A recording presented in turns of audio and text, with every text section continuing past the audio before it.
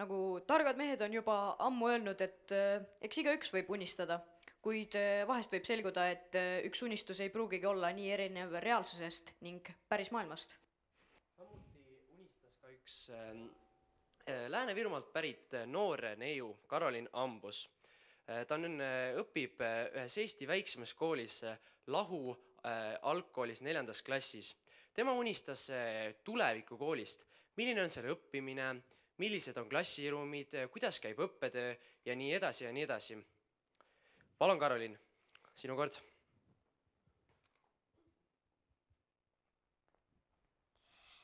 tere ka minu poolt. et mina olen siis Karolin Ambas ja käin Lahu algkoolis.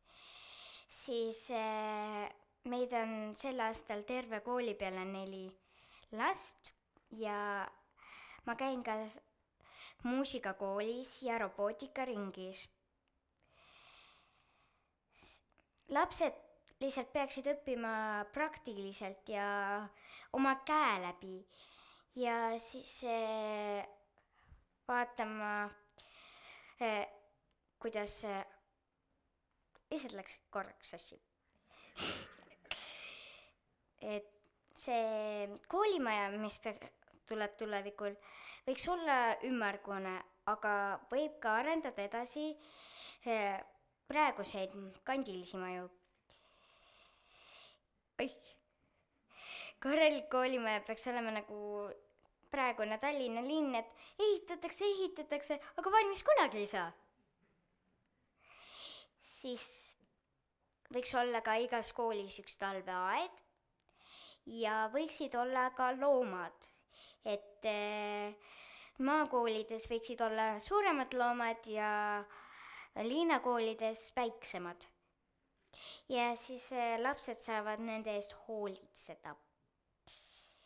siis äh, linna- ja maakoolid teevad äh, koostööd ja nagu neid ja siis maakoolidel on nagu suuremad loomad, lehmad, lambad ja ma ei tea, kes veel, kitsed ja, ja siis nad teevad niimoodi, et eh, maakoolid saadavad enda piima ja, ja asju linnakoolidele ja linnakoolid igasuguseid tehnika või vidinaid ja siis eh, teevad ka õpilasvahetusi, kus linnakoolid ja maakoolid eh, vahetavad paariks päevaks kohad. siis nad, linnalapsed saavad siis loodusesse ja maakoolid saavad kultuuriprogrammi ehk, ehk siis eh, sinna kontserdile ja kõikjale, siis eh, klassiruumid eh, võiks olla mitte väga suured ja seinad võiksid olla kaetud akuts-, akustilise kangaga, et klassis ja sisse ei pääseks igasuguseid segavaid äh, helisid, nagu näiteks, et äh, mõnedel lastel on vaba tund ja siis nad müravad ja nii edasi. ja järgnevad näited on nii internetist kui ka äh, äh, päris raamatust võetud arukalt. ma lasen selle siin ringi käima, et võite vaadata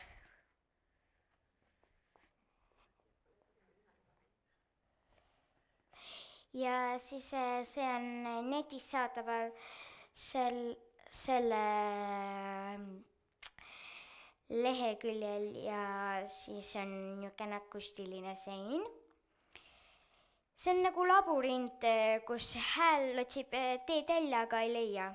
seal on niisugused paberijäätmed. ja see on siis väga pehme ja mõnus sein, et Äh, mõni on väga mõnusasti vajalik neid seinu ja siis äh, ma ei oska nüüd seda lahti seletada, ma, mulle küll seletati, aga seal taga peaks olema niisugune magnetsein ja siis need äh, pallid või asjad on siis vill, mis võtab selle heli endasse. Ja mõned lapsed on tolmu äh, vastu allergilised ja siis on kasulikud niisugused seinad, mis on hästi puhastatavad. Ja need on ka ilusad samas. ja siis äh, klassis on interaktiivsed lauad ja nagu mõned öel-, mõned ütlesid, et äh, see kõige esimene Kaarel, eks ju, tema ju rääkis nutiseadmetest, noh, seal ongi interaktiivsed tahvlid ja lauad ja siis õpi-, õpetaja abilised. Need on inimese suurused robotid, kes täidavad äh, õpetaja ülesandeid, nagu näiteks täidavad e-kooli, siis kui õpetaja haige on, siis äh, teevad tema eest tundi. Ja siis nad hoiavad korda. Seal koolides, mõnes koolis on vaja korda hoida. Ja siis ähm, neil on ka programm esmaabiks, et äh, kui keegi saab äh, vigastada või siis äh, tuleb mingisugune tulekahju, siis nad saavad natukene aega päästa ise elusid. siis ujula, igal koolil peaks olema ujula, kus saavad lapsed ujuda, õppida ujuma, kes väga soovivad ja muidu vees liguneda. Siis õpperühmad võiksid olla väiksed, umbes kümme õpilast.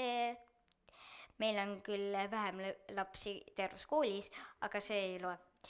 Erandiks siis on kooli, koorilaul ja niisugused spordimängud, siis äh, mängitakse ju kõik koos või on parem, kui oleks kõik koos, lauldakse ju kooris, ma ei tea, vahepeal viisteist, kakskümmend. Ja siis äh, spordimängudel on ju ka rohkem kui kümme. ja siis õppeainete kursused võiksid anda elulisi pealkirju õpetajad teavad kursuste valdkondi. see on küll minu jaoks väga raskelt sõnastatud. loovainete tunnid, muusika, joonistamine, kehaline kasvatus, draama, draama ja mis muu niisugune peaksid toimuma iga nädal. aita- ja need aitavad ju mõista teiste tundeid. kooliastme lõpetamiseks tuleb positiivselt sooritada teatud hulk kindlaid kursuseid. õppeaine, õppeaine võib ise valida, millal ta millise kursuse, mitte õppeaine, õpilane jaoks valmis on. kursustel on siis oma järjekord, sa ei saa ju võtta eh, esimest kursust või see eh, seitsmendat kursust, kui sul pole läbitud esimene, teine või kolmas. andekad võivad sooritada kohe kursuse lõputöö. Keeltetunnid iga nädal lõimitud keeleõpe, keelekümblus, siin on siis igasuguseid keeli ja jätke meelde, sest eh, seda võib teil elus vaja minna. ma ei tea, kus ka võib ikka olla. siis õppevahendid võiksid olla luger, silmasõbraliku ekraaniga muidugi, sest muidu rikud enda silmad ära ja kellel seda vaja oleks ja siis värvipildid, töövihiku funktsioonid, interaktiivsed ülesanded ja õpikud on kõik ühes lugeris, et sa ei pea võtma tervet kotitäit lugereid, et õppida. ja siis õppevahendid. teine E-vihik, et käsitsi kirjutamine oskus ei kaoks e. E-vihiku mõtles välja GAG EV3 Gustav Adolfi gümnaasiumist ja ma tean, et siin on Gustav Adolfi gümnaasiumi õpilased ja siis äh, siin on niisugune prototüüp, et see on silmasõbraliku ekraaniga ja su, kui see sul kat-, katki läheb, siis sa saad äh, osta uue, aga kõik need äh, asjad, mida oled sinna kirjutanud, jäävad alles. ja siis äh, siin on pildid sellest ähm, pliiatsist ja siis sellel on tavalised tsirklid võib-olla, ma ei tea, ja täiesti tavalised joonlauad ja mallid. Siis äh, siin on näidatud äh, suhteliselt hästi, et siin on e-tint, ma ei tea, mida sellega mõeldi, siis on eriline pliiats, millest räägiti ja siis see pilvetehnoloogia, et kõik lähevad pilvesse ja siis kui katki läheb, siis ostad uue, siis pilvest tuleb kõik tagasi. ja siis on veel mälupulk ja õpetaja saab parandada siuh-säuh kodus ära enda e-vihikust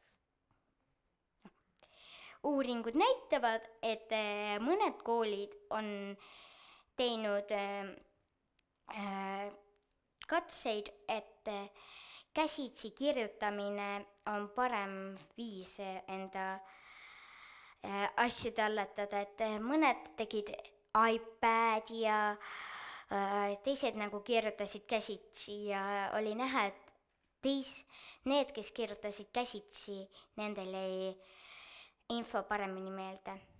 siis kooli poolt vahendid reaalsete asjade tegemiseks, päikesepaneelid, taimed, juhtmed, ma arvan, et need eh, vidinad eh, toob see linnakool ja maakoolile ja siis need eh, taimete seemned annab muidugi maakool.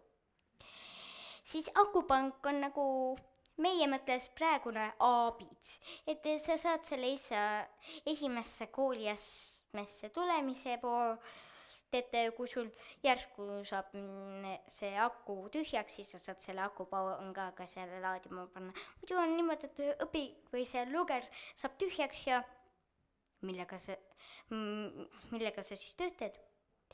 siin on näidatud väga lahedaid eh, pilte sellest akupangast. ja siis raamatukogu nagu suur-suur raamatukogu, millel on nii interaktiivsed eh, lauad, kus sa saad eh, nagu lugeda kooli ajaloo kohta ja nii ka paberraamatud.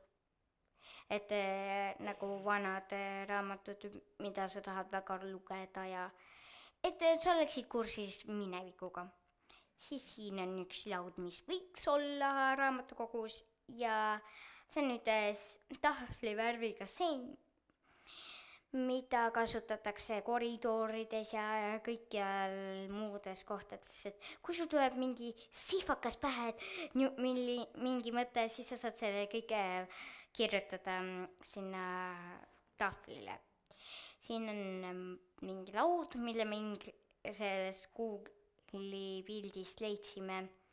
siin on 4D see laud ja siin on mingisugune kontoritöölauad, et eh, kui keegi tahab eh, minna eh, klassi, kus on kõik need lauad, siis on väga hea teha tööd niimoodi. siis päevaplaan hommikuvõimlemisega alustab, et äratab keha ilusti üles, siis väikeste laste päev, päev sisustab nii puhkamist kui ka äh, si-, kui ka tegutsemist vanemate ko- jõudmiseni.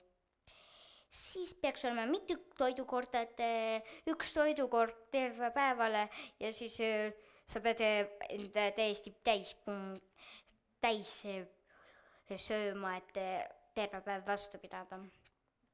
Lõu-, lõunauinak ehk vaikne tund, need väikesed, kes eh, SS kla-, SS-sse klassi tulid, nad peaksid ju saama lõunauinakut, nad on ju lasteaias harjunud magama. ja siis eh, suuremad, kellel ei ole und eh,, võiksid teha mingisugust vaikset asja ja nii edasi. vahetundides peaks olema eraldi alad aktiivsetele liikujatele ja vaiksetele liikujatele. Siin on näidatud eh, Ameerikas leitud eh, asjandus eh, mis näitab ronimist ja siis praegu on ainult natukene sellest näha. siis toit, siis on, seda nimetatakse küll äh, digitaalseks vanaemaks, aga me panime selle niimoodi, et see oleks nagu, näitab, mis toitu sul vaja on ja siis äh, mõtlesime, et oleks tore, kui see läheks nagu, vajutad äh, seina sisse selle ja siis hõ- see robotkandik telepordib su juurde koos toiduga. Siis elektrisüsteem, roheline energia, päike, tuul, magneet, seadmete valmist-, valmistavad õpet-, õpilased ja siis eh, läheme tagasi selle Tallinna jutu juurde. sel-, niimoodi nad, see asi juhtubki, et õpilased teevad asjad valmis ja siis annavad koolile, siis on kooli poolt antud asjad, millest nad teevad ja siis teiseks sa ei saa ju teha koos tehtud päikesepaneeli vedada koju. Siis torulamp on selle jaoks hea, et äh, kui sul talveaed on, siis ähm, see päikesevalgus on kõige parem valgus üldse ja siis see, see torulamp peegeldab seda. siis on ideid õpilasprojektidest.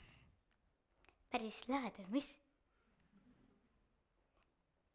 siis eh, see on niisugune koht, eh, mis mul oli ka üllatuseks, et seal üleval on see päikesepaneel ja siis siin all on pimedas vist eh, hõõguv lamp. Ja siis seal on valgustab pimedas, siis need mulle väga meeldisid. ma ei teadnudki, et nii suured hiigelsuurnäod üldse olemas on ja ma ei, arvan, et seal taga on mingisugune päikesepaneel, siis ma ei tea, mis selle nimi on, ma unustasin ära, kuigi mulle öeldi. Ja siis kannab sama nime, sama nime, sama nime, sama nime ja siis see on valgustundlik tekstiilis kardin, mis tõmbub nii kokku kui ka lahku. suure äh, tugeva päikesega on see nagu lahti, et äh, tuleks vähem valgust ja kui vähem valgust on õues, siis see tõmbub kokku, et see oleks nagu, äh, paistaks rohkem valgust läbi. Ja siis helitugevusele reageeriv seinavärv. esimene siin on see sein, mis on täiesti vaikus, siis teine on vihmusosin ja väga kõva on ainult karu järgi ja siis, kui on ikka karjumiseni kõva, siis ei ole midagi järgi. Siis see on ohutuspõrand, mille ma muidugi ma välja mõtlesin, et kui keegi kukub, siis see, see, ta kukub põrandale, mis on hästi pehme ja mõnus, sest see on liikluskool kodu, et eh, hõljuklauaga sõidetakse kooli ja kõik on korras ja siis see on üks projekt sellest hõljuklauast ja ma sain selle idee sellest, kui ma lugesin raamatusarja Inetud, ilusad, erilised ja välised, seal selle kirjutas noortekirjanik Scott, Scott, oota, las ma nüüd teen, Scott Westerfeld ja praegu on mul kaasas välised. Siin pole küll pilte, aga siin on väga lahedad äh, ideid äh, sellest tulevikust, soovitan lugeda. ja siis on neid pilte siit, see on küll paar sentimeetrit, aga paljud on need, mis äh, sõidavad äh, juba meetrite kõrgusel ja see, kes neid pilte otsis, ütles, et äh, üks äh, inimene istus selle peal ja mängis kitarri. See on siis päikesepaneelid, mis volditakse äh, ilusti lahti, väga õhukesed, kuid võtavad päikest ja siis sa saad öösel nagu rännata ja teha igasuguseid lahedaid asju. tä-, tänan tähelepanu eest, kas küsimusi on?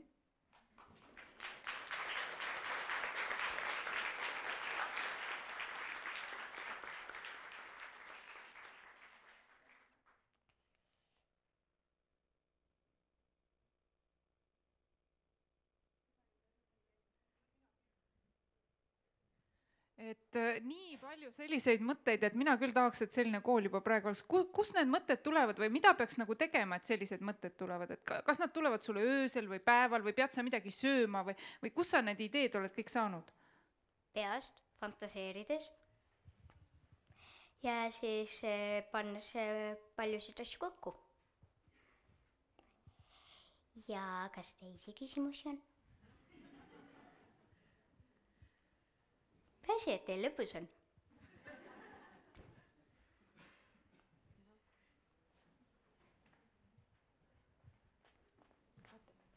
aga meil on küll sulle üks küsimus, Karlen, et äh, kuidas sinu äh, kirjeldatud tulevikukoolis võiks äh, olla teadete edastamine? teadete edastamine, las ma mõtlen. No praegusel juhul ma arvan, kas õpetajad saavad kokku äh, kooli peal või siis äh, mu algne mõte oli niimoodi, et äh, igal lapsel võiks olla see nahaantenn ja siis õpetajad räägivad nahaantennist, aga siis ema ütles, et siis seda võib kuritarvitada ka. okei okay,, väga huvitav. aitäh sulle, Karolin, ja samas äh, täname ka tema juhendajat ja ema, tema, tema ema, kes aitas äh, et temal seda väga head esitlust teha. aitäh!